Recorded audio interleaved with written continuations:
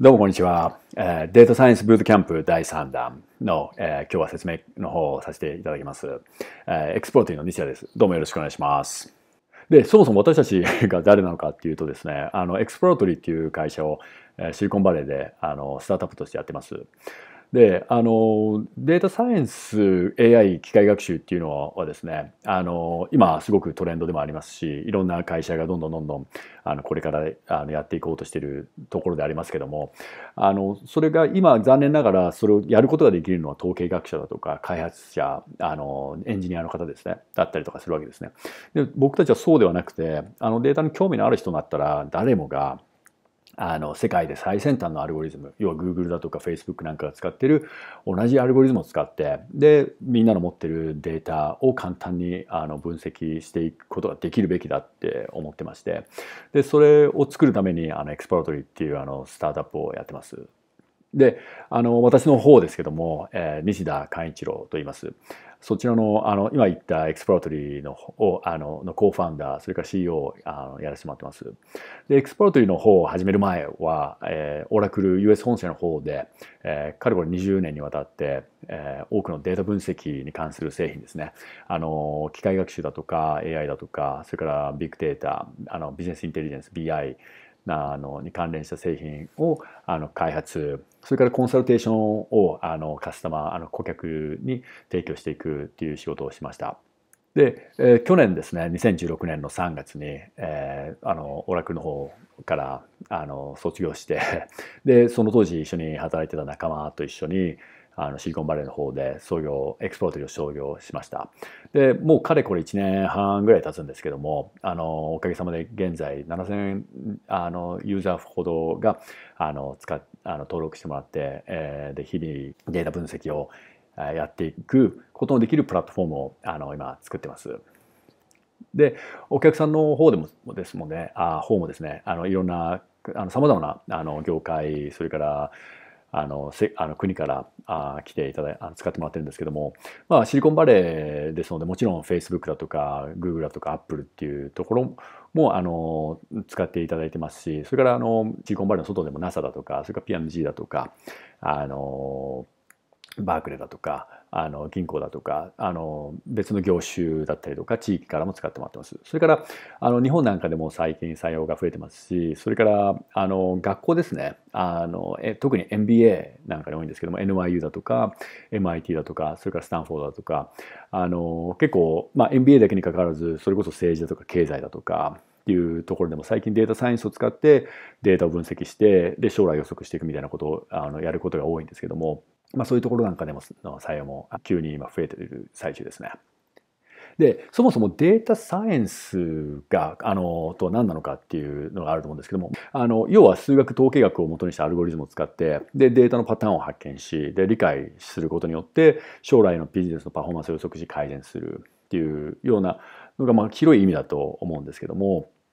まあ、あのこの業界ですねこの世界で今あの第3波って言われてるんですけどそもそも第1の波っていうのはまあそのそれこそ1970年代ぐらいからあったんですけど一部の会社がこう自分たちで作ったアルゴリズムをものすごく高いお金で払える人しか使えないっていう、まあ、こう閉じた世界だったわけですね。それがまあ2000年ぐらいから、まあ、このビッグデータの影響もあったんですけども、まあ、シリコンバレーの会社なんかがどんどんどんどんそういうアルゴリズムをあのオープンソースの形であの公開し始めてですので誰でもお金を払わずに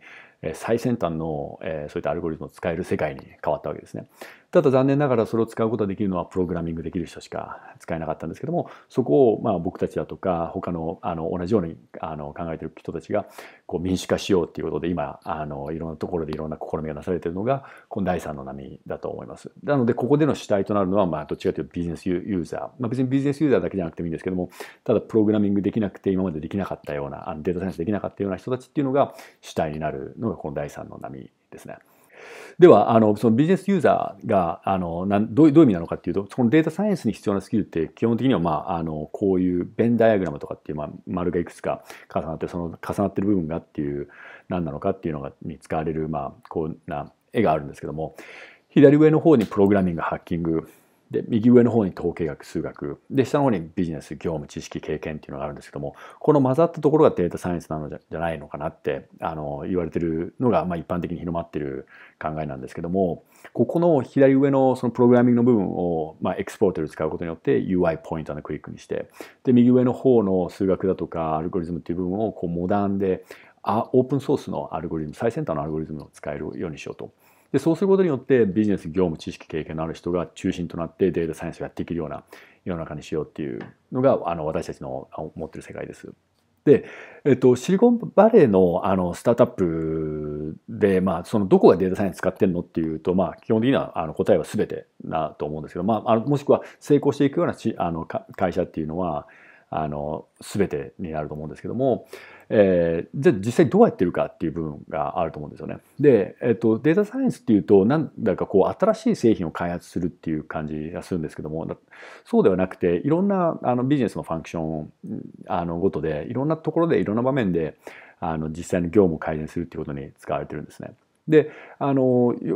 典型的な会社ですとこちらの会社ですとそのプロダクト開発があってでそれからそれをマネージするそれからそのインフラストラクそれを支えるための IT みたいな部分があってで今度お客様のサポートするっていうのでカスタマーサクセスだとかそれから今度その製品を売るっていう部分で、まあ、マーケティングもしくはあの営業っていう部分があったりだとかで最終的にはお金の,、まあ、あのマネージをするっていうビジネスのマネージをするっていう部分でファイナンスがあったりとかするわけですよね。で、あの、プロダクト開発だと、えー、もちろんそのデータサイエンスだとかアルゴリズムを使って、あの AI だとか機械学習のアルゴリズムを使ってそのチャットボットを作るだとかレコメンデーションエンジンを使うっていうのはもちろんあるんですけどもそれだけではなく実際開発している場面でもどうやってそのスケジュールを予測していくのかだとかどうやってそのコードを分析することによってクオリティあのバグを少なくしていくだとかもし何か問題があった時にその問題をフィックスするだけあの解決するだけじゃなくて同じような過去のなんか問題を理解することによってもっと大きなあの視点で問題に当たっていくことができるだとかそういうところでいろいろあのデータサイエンスのアルゴリズムなんか使ったりとかもしくは単純にこう分析しあのしていくわけですね。で、今度プロダクトマネジメントデザイン、要は何を開発するのか、どういうロードマップで作っていくのか、どういうフィーチャーを付け加えるのか、付け加えないのかっていうことだと思うんですけども、そちらの方でもやっぱりこう AB テストをしたりとかするっていうのはよくあると思うんですけども、その AB テストをするのは一つなんですけど、そのテストの結果をこう統計的に理解して、えー、評価することによって、本当にあの意味のあるあの A の方が本当にどれだけいいのどれだけの確率でいいのか。なのでじゃあこれをあの採用しましょうみたいなことをやっていくんですけどもそういうとこで使ったりとかしますね。それからあとよくアンケートフィードバックその例えば使ってもらってこの機能が好きか嫌いかだとかなんかどれぐらいで評価するかだとかっていろいろあると思うんですけどもそういったフィードバックを実際に意味のある形にあの分析してどの答えどの質問が意味のある情報なのかっていうのを理解するところで例えばデータサイエンスを使ってあのやっていたりとかするわけですね。それから今度カスタマーがどれぐらいの期間使ってくれてるのかだとかどういう機能を使ったカスタマーがえ将来的にも長い間カスタマーで居続けてくれることになるのかななるのかだとかそういったカスタマーのこうビヘイビアなんかをこう分析するのにも使ってたりとかするわけですね。それからもちろんこの IT な部分だと思うんですけども、インフラストラクチャーエンジニアリングですね。その、要はどれだけのサーバーを用意しておかなくちゃいけないの、いけないのだとか、だなのだとか、それから例えば新しい機能だとか、新しいリリースのタイミングだとか、もしくはなんか特別なイベントがある時なんかに、あのサーバーに負荷がかかったりとかしますよね。で、そういう時に、まあもちろんサーバーもそうですし、サポートの人員だとか、そういうのをどれだけ用意しておかなくちゃいけないのかとか、需要予測をしたりとか、あのモニタリングしたりとかするところでも使ってます。それからあのカスタマーサポートなんかでも今時のカスタマーサポートはあの問題があってから解決するんじゃなくて何か問題がある前にちょっと予測してどんどんどんどん先にこうあのカスタマーにソリューションを出していくだとか何か同じようなカスタマーがいたいるんであれば同じような問題にあの当たるんじゃない同じような質問があるんじゃないのかっていうのでもっとプロアクティブにこう対応していくような形のところでも使ったりとかするわけですね。でも、で、マーケティングなんかだと、あの、リターンオンインベスト、なんかキャンペーンを打つんですけども、それがどれぐらいの、あの、効果があったのかっていうのをやっぱり理解したいと思うんですね。で、もし、僕はさらに、あの、こちらの方でも AB テストなんかをして、どのキャンペーンがどれだけ役立ってるのか、で、どのチャンネルがどれだけ役立ってるのかっていうのを理解したい。で、それを理解するのに、やっぱり、あの、あのこうアルゴリズムを使ってどれぐらいだけの確率でどの辺をあのいじればどれぐらい上がるのかっていうのをこう理解していきたいと思うんですけどもそういうことをところでやっぱデータサイエンスがすごく役立っていますね。で、もちろんあの、あの、あのトラディショナルの部分あので、あのファイナンシャルに関してはあのいろんな分析が昔からされているところでありますけどもそちらの方でももっと最近の、えー、アルゴリズムを使うことによってもっと正確な予測を出していくだとかそれから、えー、プロフィタビリティを分析していくのにもっと深いレベルで分析するだとかそういうことをあのしたりとかするわけですね。で、まあ、具体的な例を出すと、例えばアノマリディテクションであれば、えー、あ異常値検出みたいなのを使って、ツイッターなんかでは、あのどのあの日に、どの時間になんか異常なアクセスがあったと。でそれをもちろんなんかおかしなアクセスなのかもしれないし、逆にあのいわゆるトレンディング、今何がとあの流行ってるのかっていうのを検出するのにも役立ったりとかしてるわけですね。でそういうのがあの公開してオープンソースになってますので、実は誰でも使えたりとかあのするわけですね。で、Google なんかでも、あの、先ほどのマーケティングの話でありましたけども、このインパクト、何が、あの、キャンペーンを打った時に、そのキャンペーンのインパクトがどれだけあったのか、その、そのキャンペーンがなくても、その実際にユーザー数が増えたりだとか、サインアップが増えたりとかすることっていうのはあると思います。で、そうではなくて、その、ある特定のキャンペーンのインパクトがどれだけあったのかを、あの発見したい時に使うようなアルゴリズムをあの開発してでそれを公開してで自分たちも使ってるっていう形なんですね。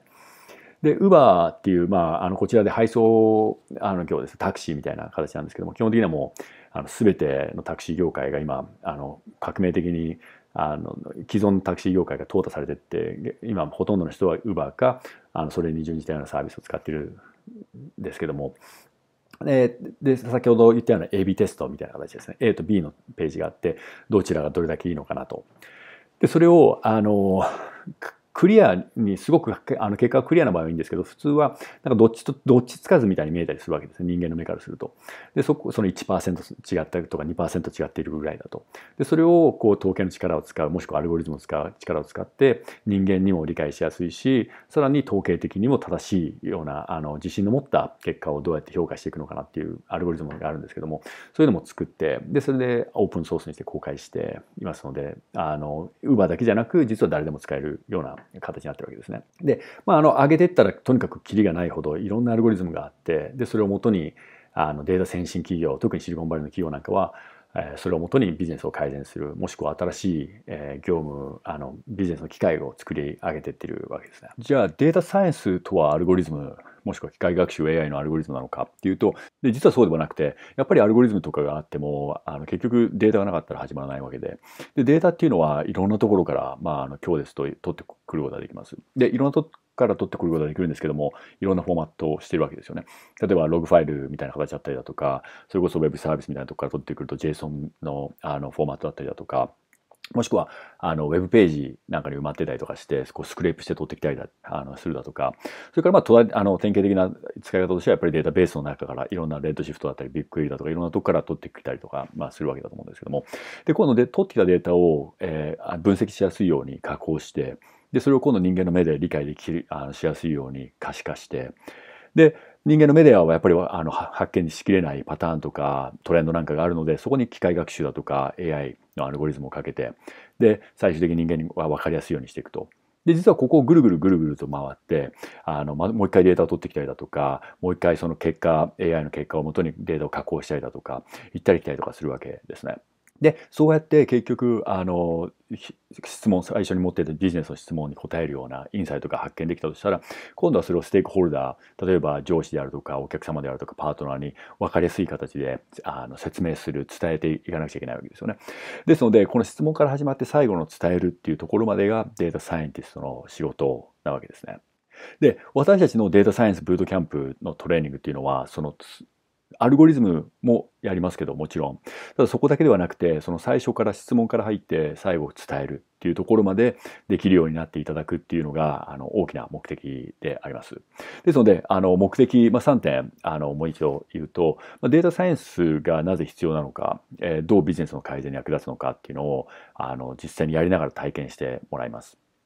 で、データサイエンスの手法を体系的に理解してもらって、で、実際のビジネスに、皆さんのビジネスに応用できて、していくようなスキルを身につけていただきます。で、最後の部分はちょっとこあの私たちの個人的な部分でもある、目的でもあるんですけども、そのデータサイエンス、今シリコンバレー、先ほど紹介したように、もう当たり前のようにシあのシリコンバレーの新興企業を含め、大きな企業でもそうですけども、みんな使ってます。で、そうい世の中がそういうふうにあのシリコンバレーに飲み込まれていくような今勢いですけども、そうなってほしくない。やはり日本であれば、日本の素晴らしい企業、ビジネスっていうのがあるわけですから、そちらをこう、シリコンバレーに負けないようにどんどんどんどん大きくしていっていただきたいと思いますので、まあ、一部のデータサイエンティストとそれからシリコンバレーの企業にデータサイエンスっていうものを独占させないためにもあのこのトレーニングをあの私たちは提供したいし、えー、皆さんに受けてもらいたいと思ってます。でプロあのトレーニングの概要なんですけどもあのプログラミングすることなしに今日のデータサイエンティストたちが実際に現場で行っているデータサイエンスの手法っていうのをですねあの手を動かしながらあの実際データと格闘してもらってで基礎から体系的に理解して実際のビジネスの現場であの使えるレベルまで一気に習得していただきあいただくものとなっています。でビジネスの実際に起きるような課題をいかに解決できるかっていう視点を中心としたトレーニングですのでその機械学習のアルゴリズム統計学の理論も紹介はしますけどもそのあくまでもその有用性であったりだとか実用性っていうところに重心を置いたトレーニングになってます。対象者あのこのトレーニングにあの参加していただきたいなと思う対象者なんですけどもそれは現在の業務もしくは研究にデータサイエンスの手法を取り入れることによってさらなる改善を目指したいと思われている方それがデータサイエンティストという、あの、こういった新しいあの職種が出てきてるわけですけども、そういったところにこうキャリアチェンジをしてみたいと思われてる方、それからデータ分析、さらにはデータサイエンス、機械学習、統計学など、そういったものを、あの、興味があったりだとか体系的に学んでみたいと思ってたけどもそういうチャンスがなかなかなかったりだとかやはりそのプログラミングが必要だとかそういうことでなんか敷居が高かったりだとかもしくは統計学の専門知識がいるんじゃないかとかそういうので躊躇していた方はぜひこのチャンスをあの手にしてほしいいただきたいと思います。で、過去、あの、2回ほど、え日本でトレーニングはしたんですけども、まあ、いろんなかあの会社の方から参加していただいております。で、修了者のコメントとしてですね、あの、やっぱりこのブートキャンプトレーニングは、この統計学であったりだとか、アルゴリズムのパワー、そして何よりそれらを活用して結果を導き出すことの楽しさを教えてくれましたっていう、あの、あの一人の方からコメントがあるんですけども、やっぱりデータサイエンス、それからデータ分析、データっていうのは面白く楽しいものです。ですので、何か見え今まで見えなかったことが分かった時のあの興奮っていうのを一緒に共有したいなとも思ってます。それからあのトレーニングに先ほどもありますけどいろんな業界いろんな職種あのいろんな会社の方があの参加されてますので、えー、せっかくですのでこういう機会で横のつながりもあのこう気づいていくチャンスかなとは思ってます。なかなかデータ分析っていう観点で、あの、横でつながって、業界を超えて、会社を超えて、あの、つながって、そういったから、ゆるいネットワークで一緒に勉強していく。このトレーニングだけじゃなくて、トレーニングが終わった後も、生涯を通して仲間として一緒にこう、スキルアップしていく、仲間を作るっていうのはなかなかない機会ですので、そういった点でも、あの、役立てていただければなと思ってます。で、スケジュールですが、えー、平日版で、現在募集しているのは、えー、もう24日、25日、26日、今月ですね、の火水木のあの平日版になっております。で、えっ、と、スケジュールなんですけども、えー、トレーニングは今さっきあのお伝えしたような形なんですけども、えー、大きく分けて、そのトレーニングの前とトレーニング後を含めて、あの4つの段階があると思うんですね。で、まず申し込みの方ですけども、えー、私たちのウェブサイトの方で、えー、あの申し込んでいただくことになります。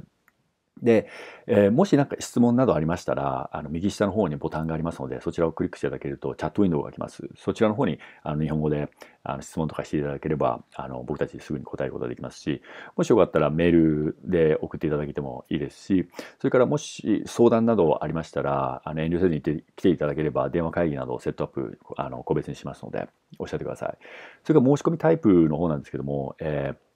ー、クレジットカードか、それから銀行振込になっております。で、支払いのタイミングなんですけども、クレジットカードの場合はもちろんその場ですぐに支払いになるんですけども、銀行振込の場合は、えー、あの申し込みを受け取りましてから24時間以内にメールの方であの請求書をお送りしますので、あの受け取られたあの日よりも、あ日から10あの10日以内に、えー、トレーニングの開もしくはトレーニングの開始の3日前までに指定の口座の方へ振り込みをお願いいたします。で領収書の方はお金の入金が確認でき次第メールで PDF の形で送ります。もしプリントアウトが必要でしたら、あの言っていただければトレーニング当日のあの初日に持っていきますので、あのぜひおっしゃってください。で、と申し込んでからこのトレーニング始まる前ですね、えっと、えー、インストラクションの方は送ります。あのメールで。ですので、えー、やっていただきたいことは、 Exploratoryという、あの、このデータサイエンスの UI ツールがあるんですけども、そちらの方をダウンロードしてもいただいて、で、インストールしていただきます。えー、インストールは基本的には、あの、クリックで、あの、画面を、の、あのインストラクションに従いながら OK していけば簡単にインストールできるような形なんですけども、一応、あの、そちらの詳しいドキュメントもお送りします。それから、あの、クイックスタートガイド、ビデオと、それからドキュメントみたいな形、チュートリアルみたいな形で、あの、お渡ししますので、そちらに従って大体1時間ぐらいですね、あの、した、あの、見ながら、大体どういうふうにデータを入れて、あの、データをトランス、あの、加工して、チャートを作ってっていう、あの、どあの操作感ですね、を掴んでいただければなと思ってます。で、その時に何か質問があったりだとか、何か動かないだとか、あありましたら、遠慮せずに、先ほどあ言いましたように、あの、チャットもできますし、メールでもいいですし、それから、あの、ビデオカンファレンスみたいな形でなんかこう助けでが必要であれば遠慮せずにできてくださればセットアップします。で、トレーニングの日なんですけども、えー、各自、えー、PC を、あの、そのエクスポートをインストールした PC を持ってあの来ていただくことになります。で、Windows ですと Windows 7以降、64ビットバージョンでが必要になります。それから MacOS だと L キャピタン以降のあの OS が必要になります。で、あの、実際トレーニング中もあのインターネットとか使えますので、Wi-Fi があのついてることを確認してください。で、トレーニングの方なんですけども、えー、各モジュールですね、一つ一つの、あの、こう、セグメントは1時間程度になってます。で、基本的には、まあ、最初にこう、あの、トピックを紹介して、で、例えば、まあ、アルゴリズムだったら、その紹介、どういうふうに動くのか、で、どう使うのかみたいな話をしますので、で、最後、1時間の最後に、えー、実際に、あの、データをを元に、えー、皆さんに手を動かしながらあの掴んでいただきます。やっていただきます。で、最終日にケーススタディの形であの課題を実践していくことになります。大体あの2人、あの1チームみたいな形を作っていただいて、で、あの、いくつかのセッションになるんですけども、あの、だ一つのセッションの始まりに質問があって、で、それに答える。で、それに答えるために、今まで習ったその手法だったりとかテクニックをどうやって使ってこあの組み合わせれば解けるのかなっていうふうな形で始まってああいきます。で、トレーニング中に個別に質問だとか、なんか指導が必要な場合は、あの、言っていただければ、メールでも、あの、トレーニングの途中でも、後でも言っていただければ、その次の日でも、あの、開始だとか、開始時刻前だとか、それから終了後、もしくはその合間の時間ですね。ランチタイムも含めて、あの、個別に対応しますので、あの、言ってきてください。でトレーニングで使う教材ですね。こちらも、あの、紹介的なものから、チュートリアル的なもの、あの、からありますので、あの、復習にもすごく使えると思います。で、あの、すべてかなり内容の濃い、あの、たくさんの教材をお配りすることなんですけども、カバーできない、あの、時間の関係でもできないものもあると思います。ですので、ぜひそれは、あの、家に帰って、あの、復習に役立てていただければなと思います。で、あの、不正なコピー、修正、配布の方は、あの、ご遠慮あ願いたいのですけどけども、まあ、あの会社の中で他の人にあのトレーニングをあの提供するので使いたいとかなんかそういった形だったらもうどんどん利用していただいて構いませんのであのあのあの利用してください。でコース終了時終了時にあの Exploratory データサイエンスブートキャンプ certificate の方を発行してお渡しいたします。で、えー、と最終日にあのトレーニングの終了後に簡単な懇親会の方を計画してますので、あの先ほども言いましたように、そのいろんな業界だとか、あの業界を超えて、こういった横のつながりっていうのをあのつな作るのは面白いと思いますので、ぜひ、あの、利用してください。あの、参加してください。で、昼食の方は各自お持ち込みいただいて、もしくは、あの、周辺で、あの、出会いをお願いいたします。で、トレーニングの後ですね、あとですね、あの、これが僕たち一番気にしてるんですけども、やっぱりトレーニングに来て3日だとか4日だとかのトレーニングだと、その時は分かったような気になるけども、やっぱり終わるとだんだん忘れていくっていうのは常だと思うんですね。ですので、あの、先ほどあの、ありましたように、トレーニングのマテリアルを元にこう復習されるだとか、こちらも定期的に、あの、あの、スキルアップしていけるようなマテリアル、コンテンツみたいなものを送りますので、まあ、あので実際あの仕事場に戻ってで自分の実際のデータを何かを使いながら徐々にこう、あの、どんどんどんどんスキルアップしていかれると面白いなと思うんですけども、あの、そのために、 Exploratory の Personal Edition っていうものですね、あの、基本的にフルフィーチャーなあ、が入ってます。で、そちらの使用ライセンスとサポートが1年分無償で提供されます。で、実は、あの、このデスクトップアプリケーションの中に、デスクトップの中に、あの、チャットボタンもあるんですね。ですので、あの、そのチャットだとか、それからメール、コミュニティのページを通したあのサポートもありますので、あの、ぜひ、えー、こう、点と点でというよりも、こう、線でつなげるような形で、あのトレーニングの後も、えー、スキルアップしていただければ、あの、行く、いただければな、行っていただければなと思います。それからトレーニング終了後もですね、あのトレーニングに関する質問に関しては、もしくはマテリアルだとか、なんかこう復習してて分からなくなっただとかっていう場合は、気軽に行ってきていただければオンラインで、あの、ワンオンワンのミーティングも設定可能ですので、あの利用してください。それから毎月、あの、オフィスアワーもしくは勉強会みたいなものを、あの、しますので、そちらにも、あの、もちろん無料であの参加していただければと思います。であのトレーニング終了者のみのエクスクルーシブなあのグループであの以前トレーニングやった第1弾第2弾もやったんですけどもそういった方たちとも横でつながっていくとなんか新しいあのビジネスの機会にもなるかもしれないし新しいあのこうキャリアのチャンスになるかもしれませんので利用していただければと思います。で、お値段の方なんですけども、受講料が19万8000円になります。1人あたりですね。で、教材費と、それから1年分の先ほど申しましたように、エクスポートリーの使用ライセンスが含まれています。で、あのグループ割引もありますので、3名様以上より、あのもし、えー、お友達だとか、会社の同僚とかであの興味のある方いらっしゃったら、ぜひお誘い、お声かけて一緒に参加していただければなと思います。で以上で、えー、こちら、えー、の私たちのデータサイエンスブートキャンプトレーニングの説明が終わらせていただくんですけども、最後に連絡先として、えー、メールですね、can.exploited.io もしくは support.exploited.io の方に、えー、質問などありましたら、あの気軽にメール出してください。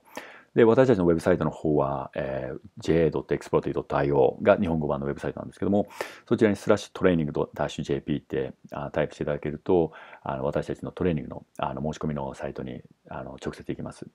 それから Facebook だとか Twitter にも私たちのページだったりアカウントがあるので、そちらも、まあ、あの、フォローしていただければ、あの、あいいかなと思います。それではこれで私たちのデータサイエンスブートキャンプトレーニングの説明の方を終わらせていただきます。今日はどうもありがとうございました。失礼します。